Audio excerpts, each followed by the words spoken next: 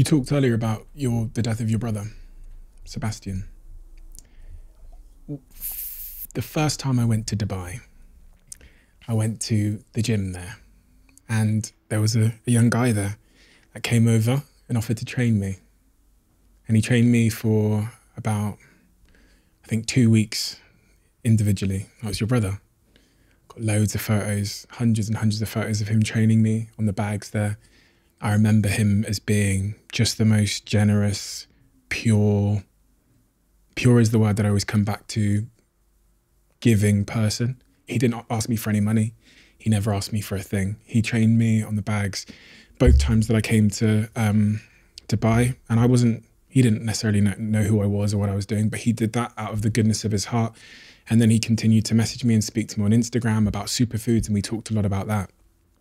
Obviously, he there was a tragic accident, and he passed away from that. What can you tell me about that incident and the the lasting impact that's had on you and those those around you?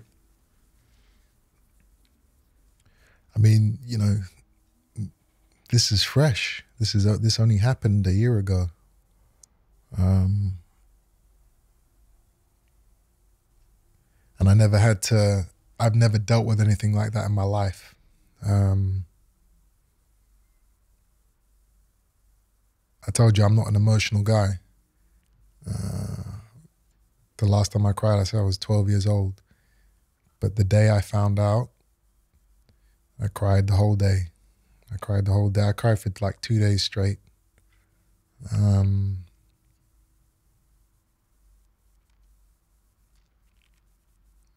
yeah, yeah. My so my dad actually. I had COVID. I had COVID when I found out. My dad came to my house. He woke me up. He said, "Come outside." and I thought I'd done something wrong because he had he had a look in his face which was uh, I don't know. I, I just couldn't I can't describe it but it was I knew something was wrong.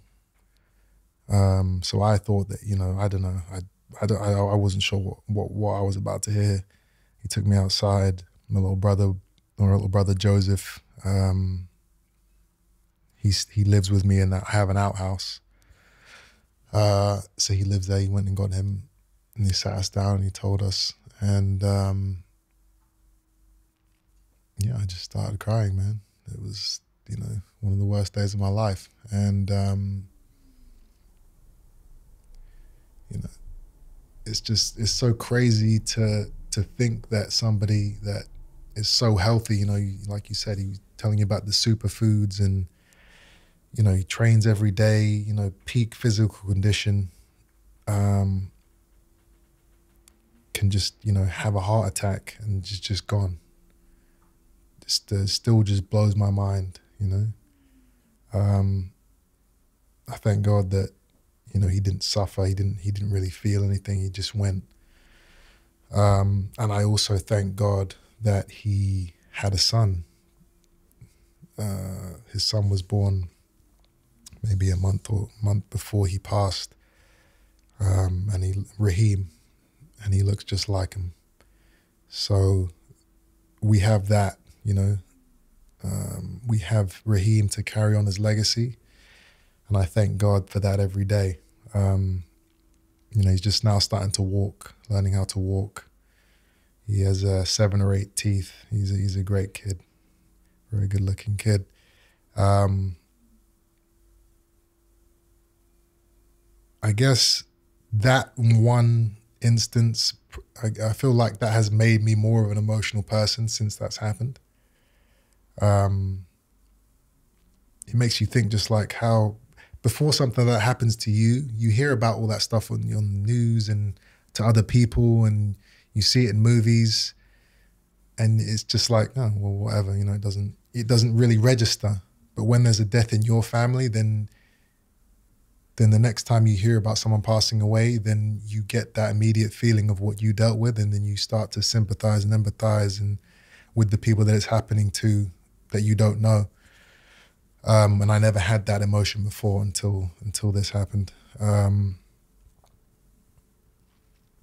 and it just, you know, like I said, I had COVID, and uh, that meant that I actually couldn't make it to his his funeral, which is, you know, it's just crazy. Like I was in Florida for the whole of COVID, right? And when I say that these guys didn't care in Florida, like the beaches were full. No one's wearing masks. I, I, I remember going to the beach and I would walk along the beach, thousands of people, and I'd be wearing a mask. This was like peak COVID, and people would be looking at me like, "What are you wearing a mask for?" Like they did not care. I was in. I went to Texas. I was in Dallas for a month. I was partying every night. Never got COVID. And then the day my brother dies, I have COVID, and I can't get on a plane and fly to Dubai for his funeral because I have COVID. And in the Muslim religion, they have to bury him as quickly as possible. Um, they couldn't wait.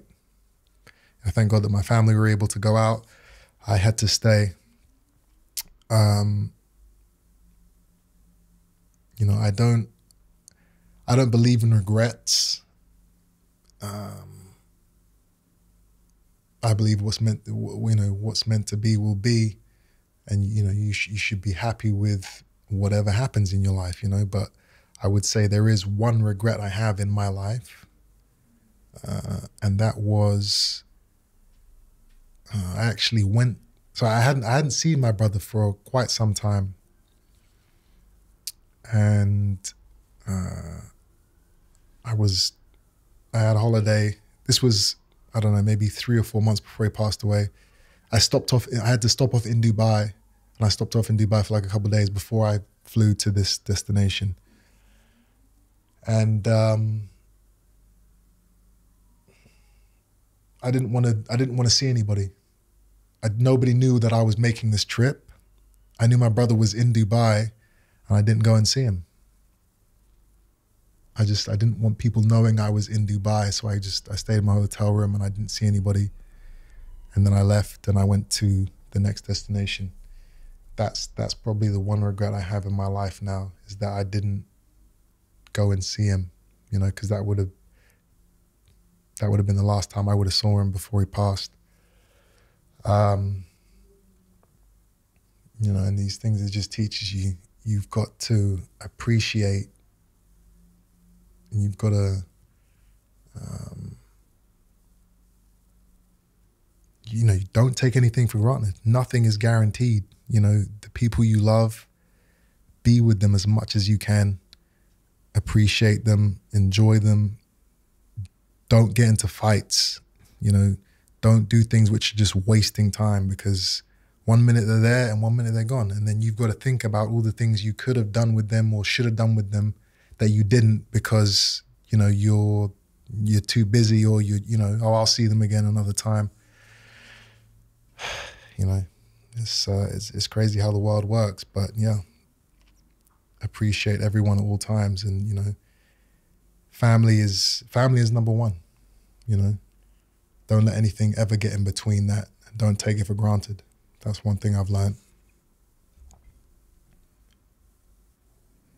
You now investing a lot of time in your relationship with Raheem? Absolutely. Yeah, we're on the phone all the time. I've got a million videos of him on my phone. My my my uh, my brother's wife, Seb's wife, Salma, she sends me videos every day of Raheem. Um, they're coming over to England actually in uh, in a month or so. And yeah, so Raheem is is now my son. You know, that's that's how I feel. Um,